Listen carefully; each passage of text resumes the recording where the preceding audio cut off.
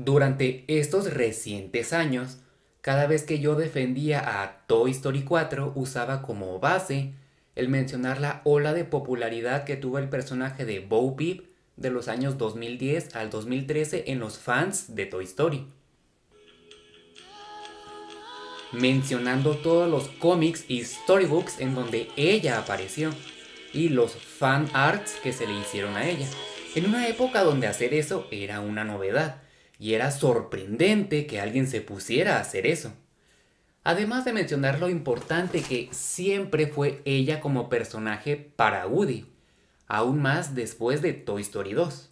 Y no es para menos que yo haya tomado como base todo eso, pues después de que Buscando a Dory y Los Increíbles 2 se sintieran secuelas muy inferiores a sus antecesoras, la gente se cerró de un modo muy negativo a otra película de Toy Story, la gente le dio la espalda a la idea de una cuarta película, se tratase de lo que se tratase, llegando a decir cosas como que absolutamente nadie quería ver de vuelta a Betty, y que fue una idea mediocre de Pixar traerla de vuelta. Y no. Durante todo el 2019 yo me encargaba de desmentir eso, mostrando a la gente que existía otra información, en los medios a los que pudiera yo acceder antes de que existiera este canal. Eso fue en 2019. Unos años después yo seguía tomando como punto de partida el mencionar la ola de popularidad hacia ella del 2010 a 2013 cada vez que yo hablaba de Toy Story 4. Y llega un momento en donde uno descubre algo y al observar a una sociedad en su conjunto se puede notar que no se han dado cuenta. Y es que las personas que odian Toy Story 4 realmente no odian al personaje de Bo Peep, ni tampoco odian la relación de Woody y Bo Peep. Lo que odian es que en la película que fue la versión final se haya hecho que Bonnie ignore a Woody, ya que eso generó un problema con la sensación tan emotiva y satisfactoria del final de Toy Story 3, en donde Andy menciona lo importante que es Woody para él. Y le pregunta a Bonnie que si ella lo puede cuidar por él. Ella asiente con la cabeza y Andy se lo entrega a ella.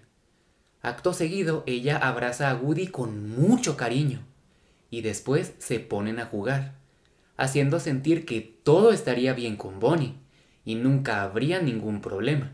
Tengo que decir que nunca antes me había sentido tan interesado en el material eliminado de una película como en Toy Story 4. Siempre que veía el material eliminado de alguna película, era algo así como, oh, good, pero siempre admirando la perfección del resultado final. En el caso de Toy Story 4, sí me gustó la película, y he resaltado las cosas buenas que tiene la película. Pero también, y no es la primera vez que lo digo, hubo muchas cosas que esperaba ver en la película y no ocurrieron en la versión final. Por ello es que me he sentido tan interesado en el material eliminado al que se le ha podido mostrar al público. En la D23 del 2015 es cuando oficialmente se confirma que se va a estrenar Toy Story 4. En esos momentos cuando yo me enteré del anuncio, sentí enojo por un segundo.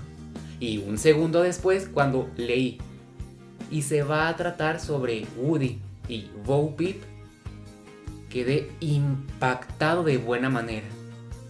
Nunca imaginé que toda la ola de popularidad e interés hacia ella, del 2010 al 2013 como lo mencioné aquí, iba a repercutir para que en Pixar hicieran todo un largometraje sobre ella las declaraciones, y no lo inventé yo, así fueron las declaraciones en 2015. Toy Story 4 será una historia de amor. Toy Story 4 será una comedia romántica protagonizada por Woody y Bo Peep. Además de que esta película no estaría tan enfocada en la relación de los niños y los juguetes, sino que esta sería una historia aparte de las demás incluyendo que, según John Lasseter como el director de la película, la película estaría inspirada en su historia con su esposa Nancy, además de contar los orígenes del personaje. Yo al enterarme de eso, en esos momentos creí que la película podría ser algo así como el cortometraje de vacaciones en Hawái, donde en esta historia no importa la relación de los niños y los juguetes, sino que el foco de esta historia son las aventuras y acciones que los juguetes pueden vivir para ellos sin estarse preocupando en la relación con los niños sobre si juegan con ellos o no, sino las aventuras que ellos pueden hacer y disfrutar de forma independiente. Digamos, todos ahí contribuyen para llevar a cabo un acontecimiento romántico. Me parecía muy inusual que Toy Story 4 fuera a tratarse de eso. Pero me encontraba enormemente feliz y emocionado por la futura película que se anunció con mucha seguridad que llegaría a los cines en el verano de 2017. El primer gran obstáculo es que en enero de 2016 se anunció que la película se retrasó un año, hasta 2018, y Cars 3 tomaría su lugar. Aún así, durante todo el 2016, yo me encontraba muy emocionado y esperanzado por la película. Hasta que en enero de 2017 se anunció que la película se retrasaría otro año, hasta 2019, y Los Increíbles 2 tomaría su lugar. Y unos meses después, en septiembre de 2017, John Lasseter no solo renunció a la dirección de la película, sino que se iría de Pixar por acusaciones de acoso sexual. Fuerte. La película se quedó sin su creador original.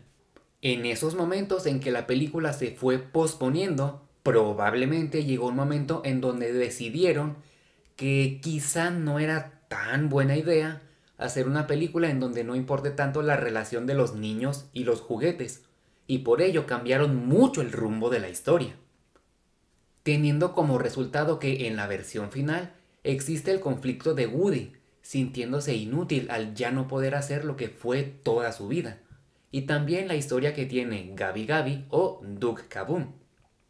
Pero antes de la versión final, hubo otras versiones de la película en donde igual seguirían la relación de los niños y los juguetes. En 2019, unos meses después del estreno de la película, se mostró un final eliminado, junto a otras escenas eliminadas de la película, que se publicó en este canal. Mucha gente creyó erróneamente que ese final eliminado corresponde a la versión final de la película. No, ese final eliminado corresponde a toda una versión eliminada de la película, en donde además de ver que Bo Peep iba a tener su vestido rosa en toda la película, también la historia era muy diferente. No era para nada una historia para reflexionar sobre nuestra vida, solamente sobre el reencuentro de Woody y Bo Peep y ya. Por el lado de ella, aquí la vida no la trataría tan mal como en la versión final, donde tuvo que ser autosuficiente y encontrar un nuevo propósito de vida, al no encontrar otro niño que la quisiera. En esta versión simplemente ella estaría sin un dueño, esperando que llegara otro niño a su vida. Y por el lado de Woody, en esta versión su situación con Bonnie sería igual a lo visto en los Toy Story Toons, en donde ella no lo tendría como su juguete favorito, pero sí jugaría con él. Y el comisario se encontraría bastante feliz y satisfecho de estar en casa de Bonnie. Bonnie al no ignorarlo, él no se sentiría inútil. Se puede ver aquí que al parecer Woody y Betty elaboraron un plan para ayudar a muchos juguetes a encontrar un dueño. Después de lograrlo, ella se encuentra bastante emocionada por eso. Unos instantes después, ella observa a la niña que visita la tienda de antigüedades y siente una enorme conexión con ella, como si quisiera ser su juguete. Woody entiende entonces que ella acaba de encontrar su nueva dueña y después de tener un diálogo muy profundo, los dos se abrazan y se despiden. Woody logra que la niña se gane a Betty en el juego de la feria para que se la pueda llevar a su casa, y lo termina logrando. Unos momentos después, Woody contempla que a lo lejos viene caminando Bonnie con sus padres en la feria, y rápidamente va hacia un contenedor de basura. Bonnie, al darse cuenta que Woody está ahí en el piso, rápidamente lo levanta y se da cuenta que no tiene su caja de voz. Es muy llamativo que en esta versión probablemente no existe Forky ni Gabi Gabi. Y al ser una versión muy inicial de la película, ya se tenía planeado que Woody perdería su caja de voz. Lo que es interesante pensar en esta historia cuál habrá sido la razón por la que él perdió su caja de voz. Otra de las escenas eliminadas que se mostraron en 2019 es cuando Woody y Bo Peep se reencuentran luego de muchos años. Esta escena pertenece a otra versión eliminada de la película, pues aquí ya se tuvo planeado que Bo Peep haría un cambio de ropa. En la escena se muestra que dentro de la tienda de antigüedades hay toda una ciudad habitada por juguetes. Woody al parecer está buscando a un juguete doctor y se acerca un pequeño zorro de peluche, pero solo es para engañarlo porque le arrebata su sombrero y Woody empieza a perseguirlo. Después se da cuenta que ese pequeño zorro le vende su sombrero a otro juguete y Woody intenta impedirlo, sin darse cuenta que se acabó de sumergir en una especie de mercado negro, donde hay una sección de apuestas. Ahí hay un juguete encapuchado, que al parecer se acaba de ganar la mercancía en donde está el sombrero de Woody, él se acerca para decir que ese sombrero le pertenece. Pero de pronto ese juguete encapuchado voltea y resulta ser Betty. Y los dos se quedan mirando fijamente.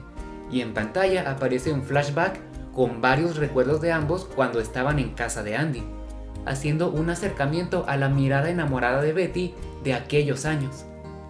Los dos, de forma muy emocionada, se abrazan pero accidentalmente Betty deja caer unas perlas de más. Los demás juguetes se dan cuenta que ella estaba haciendo trampa, porque en esta versión eliminada de la película, ella sería como una especie de Robin Hood, quitándole a los juguetes más privilegiados para ayudar a los juguetes muy abandonados. Al darse cuenta que la descubrieron, le dice a Woody que hay que correr, y empiezan a huir de estos personajes, corriendo por todos los anaqueles de la tienda de antigüedades. De pronto aparece Bill, un pato de peluche que es amigo de Betty, que prácticamente es el antecedente de lo que terminó siendo Doki. Y honestamente este personaje era mucho mejor. De pronto él para ayudarla se coloca en el suelo para que ella salte sobre él y no se lastime. Woody también cae sobre él y se descose un poco. Ella promete arreglarlo luego y rápidamente los presenta a ambos, a Woody y a Bill y continúan huyendo de esos juguetes, que al parecer son como los villanos de esta versión de la película. Como dije en este video, un argumento sobre Woody y Bo Peep como protagonistas luego de lo que ocurrió entre ellos después de Toy Story 3 daba para mucho, pero para mucho, en donde fácilmente se podrían obtener cuatro versiones totalmente distintas una de otra de Toy Story 4 donde lo único que habría en común es tener a ellos dos de protagonistas, pero nada más. La película que fue la versión final ha sido muy criticada y odiada, y es que una película sobre Woody y Bo Peep sí merecía existir. Pero para que la película no fuera odiada, debió haber sido diferente. ¿Y diferente en qué sentido? Pues en el personaje de Bonnie, pues en esta película para que la historia funcione depende de que Bonnie ignore a Woody. Si, por ejemplo, esta versión eliminada de la película hubiera sido la versión que se mostrara en cines, se tendría una historia de Woody y Betty, que era justo lo que se quería, y también se tendría una historia en donde no haya conflicto con Bonnie. Y de haber sido así, las personas que odian Toy Story 4 tendrían un concepto muy diferente de la película al oír su nombre. Todos los videos de odio a Toy Story 4 o publicaciones en redes sociales simplemente no existirían si la película hubiera tenido esta historia. Lo más negativo que hubieran dicho es que era una película entretenida pero innecesaria, diciéndolo sin enojo, no como en la versión final que dicen que es innecesaria con enojo. ¿Por qué Pixar decidió cambiar la historia de Toy Story 4 entonces? Pues porque esta película hubiera sido muy simple. la película hubiera tenido el mismo nivel de complejidad en su trama que Toy Story de terror o Toy Story Perdidos en el Tiempo. Es decir, la hubieran criticado porque era una película muy simple, como los especiales de Toy Story, pero alargada a una hora 40 minutos. En Pixar se dieron cuenta de eso y decidieron empezar a crear un argumento más complejo y más maduro para Woody, siguiendo la esencia de las primeras dos películas, en donde él vive un conflicto y termina aprendiendo algo. En marzo de 2019 es cuando ya se muestra el tráiler que contiene escenas de la película. No sé si lo que aquí se mostró también es una versión eliminada de la película, porque lo que se ve en este tráiler es muy diferente a lo que se vio en cines. Se muestra aquí que después de que Bonnie crea a Forky, él vive conflictuado porque no quiere ser un juguete y se termina arrojando del camper. Woody va a su rescate y ambos terminan caminando por la carretera. Cuando llegan a la tienda de antigüedades, Woody observa que ahí está la lámpara de Betty, por lo que deciden entrar a buscarla. Ahí se encuentran con Gabi Gabi y los Bensons, y de pronto aparece ella para rescatarlos. Luego de reencontrarse con ella, Woody trata de convencerla para que los tres vayan con Bonnie y ella simplemente le dice quién necesita la habitación de un niño cuando se puede tener todo ese paisaje. Tras estar por su cuenta durante muchos años, el espíritu aventurero de Bo se contradice con su delicado exterior de porcelana. Woody y Bo se dan cuenta de que se convirtieron en personas muy diferentes en lo que respecta a cómo ser un juguete pero pronto descubrirán que esa es la menor de tus preocupaciones. Woody entonces se le empieza a pasar bastante bien junto a ella, como nunca hubiera imaginado, y además de verse ligeramente seducido por cómo es su estilo de vida ahora, además de haberse sumergido por la nostalgia de no verla en años. Por otra parte, Bonnie empieza a buscar desesperadamente a Woody, y sí, malignamente nos hicieron creer aquí que estas escenas corresponde a que ella buscaba a Woody. El comisario entonces se empieza a sentir conflictuado, porque sabe que debe estar con Bonnie porque ella lo necesita, pero tampoco sabe si quiere dejar a Betty, y empieza a verse muy atormentado porque no sabe qué camino tomar. En un momento dado de la historia, él al parecer quiere regresar con Bonnie, pero Gabi Gabi impide que él escape. En mayo de 2019, Funko Pop publicó una animación de Woody y Bo Peep, que muchos creímos que era una escena que se iba a ver en la película, preocupando que Funko mostrara contenido de la película antes de tiempo. Pero al final lo que aquí se vio nunca ocurrió en la película. Y a decir verdad, ojalá sí hubiera ocurrido, pues me fascina lo que aquí se mostró. Ellos dos están ahí sentados contemplando el paisaje nocturno en la feria. Woody se da cuenta que al lado de ellos hay unos globos y decide sorprenderla a ella con un globo. Pero de pronto la fuerza del viento hace que él se empiece a elevar en los aires junto con el globo. Ella al ver eso decide rescatarlo y tras una serie de acrobacias logra rescatarlo de que el viento no se lo lleve. Los dos caen delicadamente hacia el suelo y después de unas simpáticas risas entre ambos, miran hacia atrás contemplando en complicidad cómo se aleja aquel globo entre la inmensidad y el romanticismo de la noche. Es una escena muy simple, pero me fascina lo majestuosa que se escucha la melodía de fondo mientras ambos contemplan el panorama nocturno y el cómo las nubes y la luna iluminan la noche. Por el año 2021 tuve una idea, y es que sería genial que existiera algo así como Toy Story 4.5. No Toy Story 5, no, sino Toy Story 4.5, en donde se muestre una versión alterna de Toy Story 4 partiendo del material eliminado. Consiste en crear toda una película que también sea secuela de Toy Story 3, haciendo una especie de multiverso y no para que Pixar le dé la espalda a la película que fue la versión final, sino para que el público conozca más de las historias que se fueron descartando para Toy Story 4. Porque, como ya dije, Este es un argumento en donde fácilmente se podrían hacer cuatro versiones diferentes de Toy Story 4. Este hubiera sido un proyecto muy difícil hacerlo para el cine, y ya no estamos en la época de lanzar películas directamente a DVD, sino que probablemente hubiera sido para Disney Plus.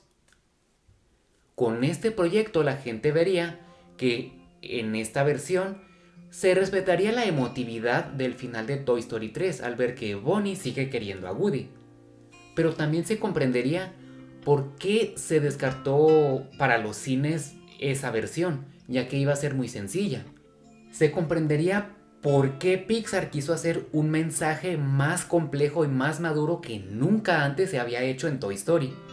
Y sí, es fuerte decirlo, pero gracias a que Bonnie ignora a Woody, es que se puede hacer una película tan realista como esta. En donde prácticamente se dirigen a cualquier persona que haya pasado adversidades, en donde sienta que su vida se estancó y simplemente ya no es como antes. En muchos casos, la gente cuando se jubila se deprime, se va para abajo porque se empieza a sentir inútil. En la versión final de Toy Story 4 se cuenta esto a través de Woody. Y no es nada despreciable para los fans de Toy Story que se haya hecho esto con el comisario, pues lo desarrollaron mucho como personaje, de una manera que no se había hecho.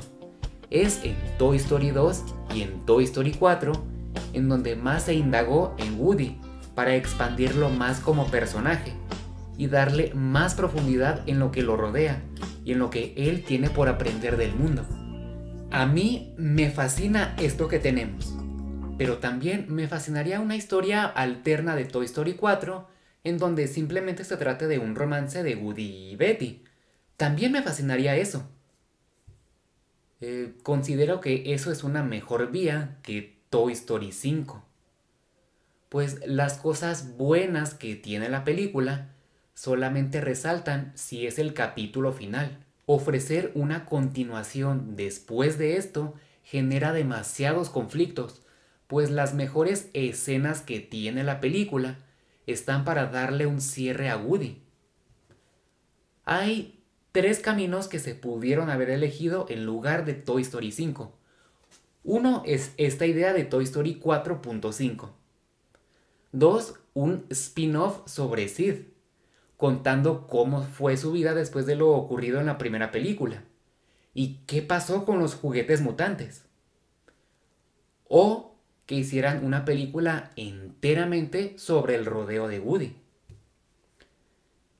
Hubieran sido mejores opciones. Prefiero el sol a una lámpara de neón. Prefiero mil bienvenidas a un adiós. Prefiero quedarme a escuchar o esta canción.